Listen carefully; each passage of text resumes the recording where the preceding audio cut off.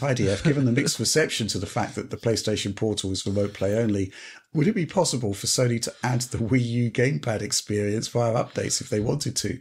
Also, do you think this opens the door for Xbox to release a Wii U gamepad of its own, especially if Portal itself sells well, given the clear opportunity to improve upon Sony's offering?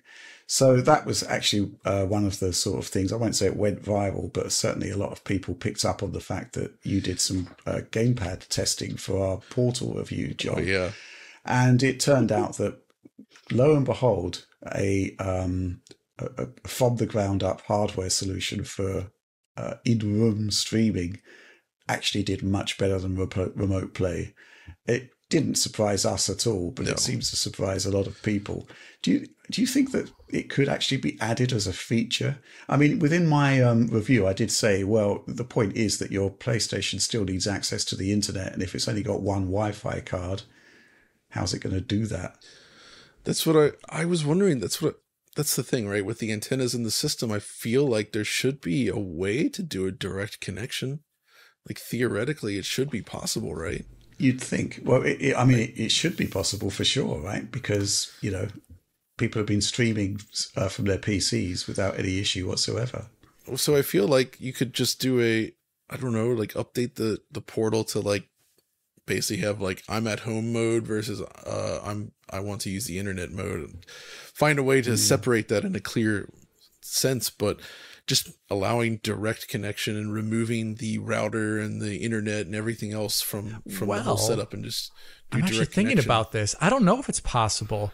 So one Yeah, thing on the Series X, wouldn't work anymore. yeah, well, it's not. It's not only that. Like, well, you could see you could have wired connection to your to your PS5 and then use its connection would solve Wi-Fi, right?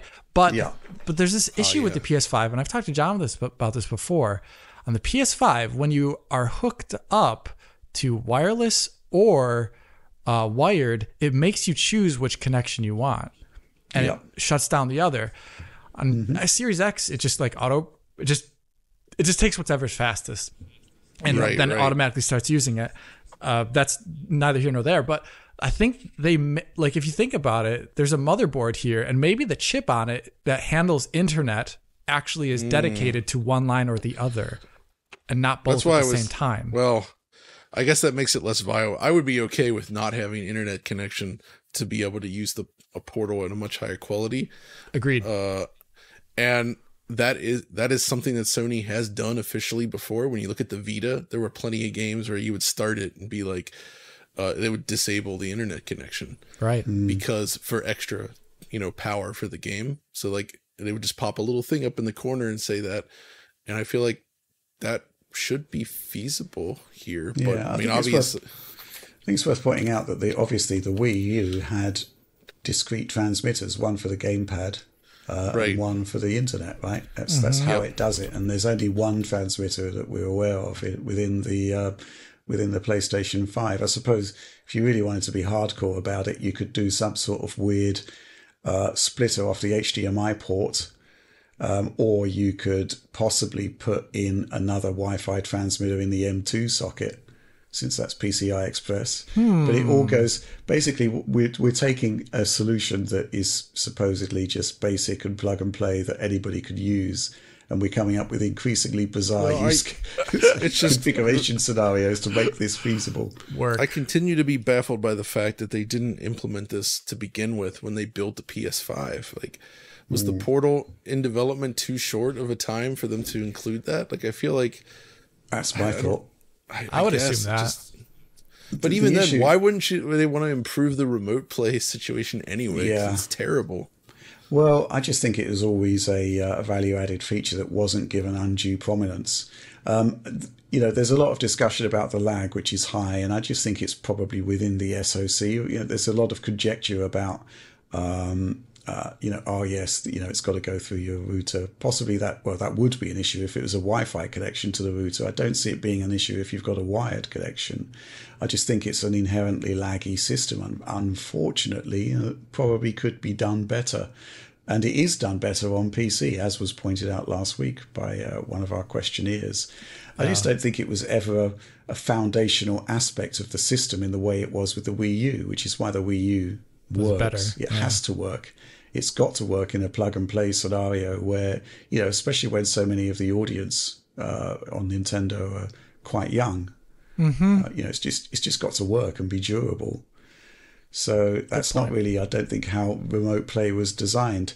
Yeah, I mean, you could probably get a better remote play in theory, assuming that you know there isn't lag within the SoC. I kind of think there is, but yeah, yeah, we've just gone through a whole series of, of, of ways to do it, and I think the only way you probably could do it was to have some sort of um, dongle slash kludge that's actually going into the HDMI port Right. um, and yeah, and then maybe the, the the portal itself would connect with Bluetooth or something, and it would be an in-room solution. It wouldn't be, you know, you, I guess it could fall back to the current solution for remote play over the internet, but it's it's all getting really tricky. You know, Rich, Dude, the I've, whole- I've oh, heard this is all blown out of proportion because I saw a video trending on social media about playing with your portal on an airplane. So Mm-hmm. that is definitely a viable way to play the portal. Jesus, Yeah. that sounds terrible. Imagine Well, that. The particular plane in question had Starlink. But even then, you've had Starlink even before. then, that it's a lot of latency ain't too great. It's not great. Yeah, No. but maybe they got it working.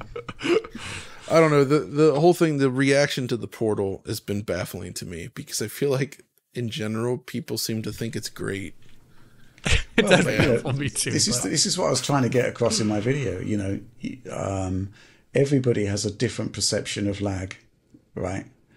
Um, it's only when you have really egregious games that go beyond the, the pale that people actually start complaining about input lag. Yeah, I think. And you're know, right. we've demonstrated it in the past. well, it's not even just um, about lag. It's just about the image quality and the, the, stuttering quality. and like Right. it doesn't look smooth. it doesn't look good. It doesn't. It's not. It's not enough. But some folks don't seem to notice or care, and they think it's great, and that's fine for them. It's just I'm actually surprised. That's all.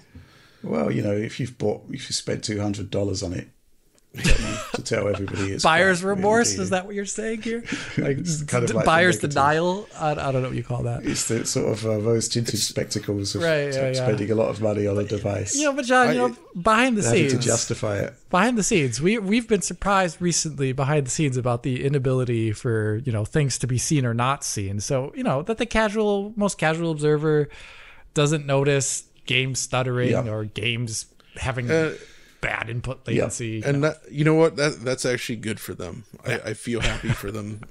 They're liberated. The- the cave. the Enjoy the FPS. experience still in that more. cave. and that's that's great. That's great. That's cool.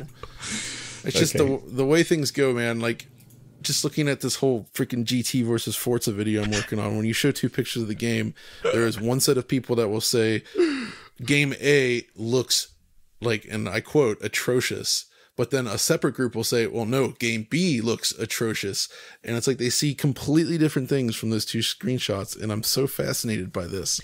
It's like the case that you actually behavior. swap the screenshots around? Oh yeah, on the one I swapped the, I swapped the the, the watermark genius. and caught a bunch of people on that as well, which was really funny. i'm a yeah. big fan I of think that's that got to be. It's got to be part of your your video. do it in the I gotta- I video gotta do it in the video I gotta mention that. The psychology. There is a there's a psychological element to them, you know, and it's just it's really interesting to see the way people operate. But so sometimes I think people don't notice things. Sometimes I think they choose based on what they What expected or you know they what they own, and it's just it's it's a whole it's a weird world out there for this stuff.